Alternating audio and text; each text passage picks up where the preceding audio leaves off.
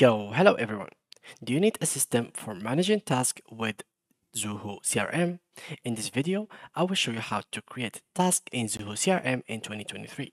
You will learn how to assign tasks, set due dates, and add task details. And of course, track the task's progress. So, let's get started. Start with this video. Make sure to watch it from now till the end so you have full experience. So guys, once you are on the Zoho official dashboard. Let's say that you have logged in already to your account. So the next thing to do is simply head up to the products through here, as you can see. And then all you have to do is simply go to project management over here. So project management, click on it, and then you will find here project sprint and bug tracker. I'm going to click on projects. So now they are going to take us to the page where we can see the project. So here I'm going to click on access Zoho projects through this button. And now all we have to do is get started for free. And they will take us to project management of Zoho.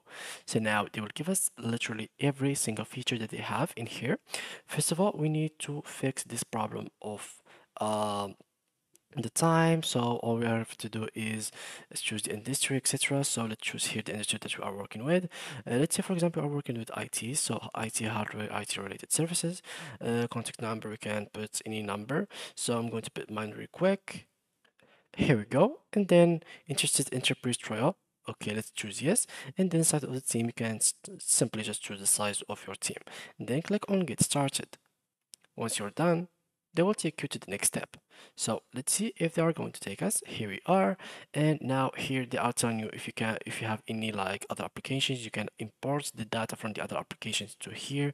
If you would like to explore simple project to create your own project or project store. So I'm going to go with this one, create own project, and let's give it a name. So let's name it, for example, test video and click on add. Now we have created our first project on project.zoho.com.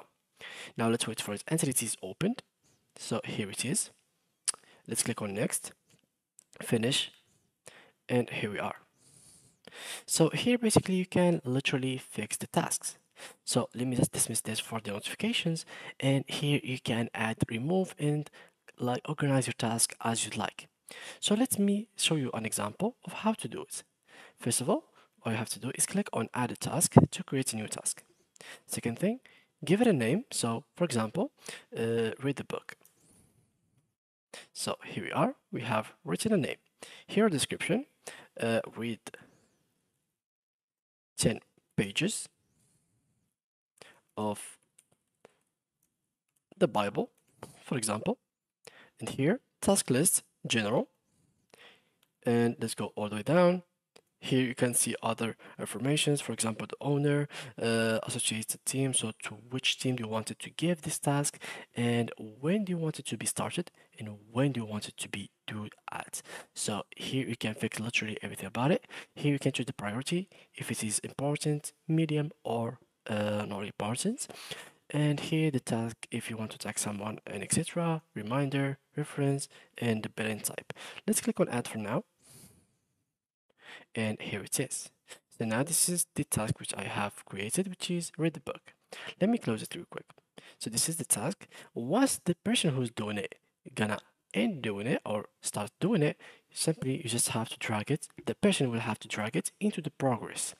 So this is will be automatically done by the person. But in case you had let's say that you had a start date and due date, this task will start moving like loan.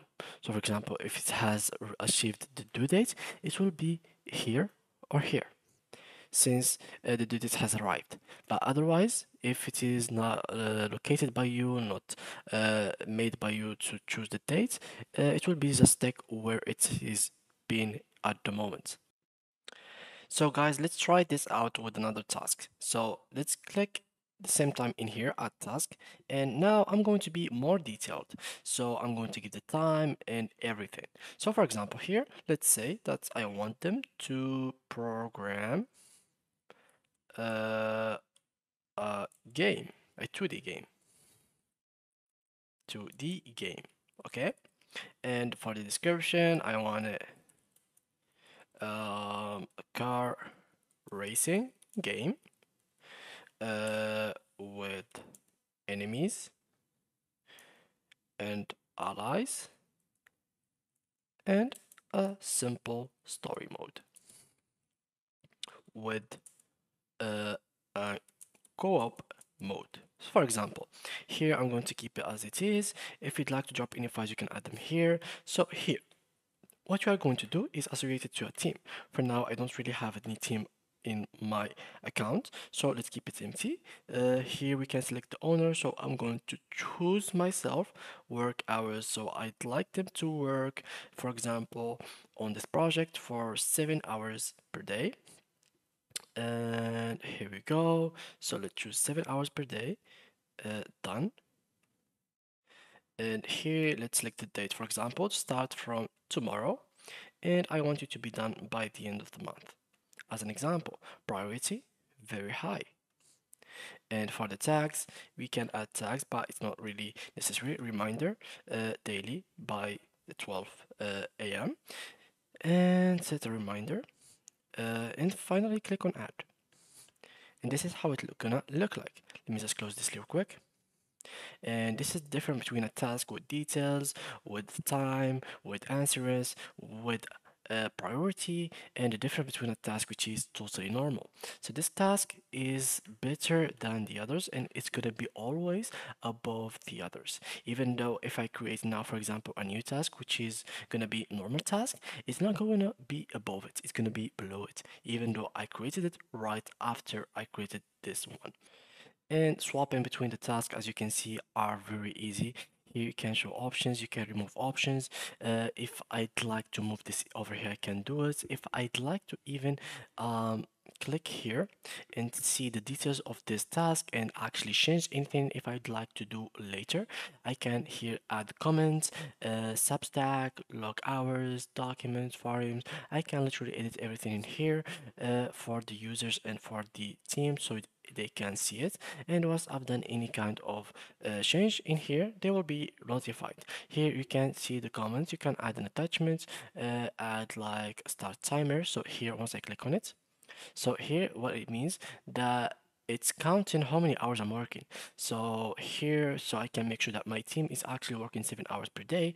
If they didn't click here and start working that will not be the the like showing for me and that means that they have they are doing a bad job at their work. So it is very very secured uh, for you and for the team. So everyone does his job and everyone will be uh, knowing what they are allowed to do and what they are not. So here the timer will be uh, shown as well so you don't really have to go inside. And finally when it reaches seven hours they will tell you that you have to stop or you can stop working for today. So yeah guys that was it for in general for this video. Thanks a lot for watching and see you guys in the next tutorial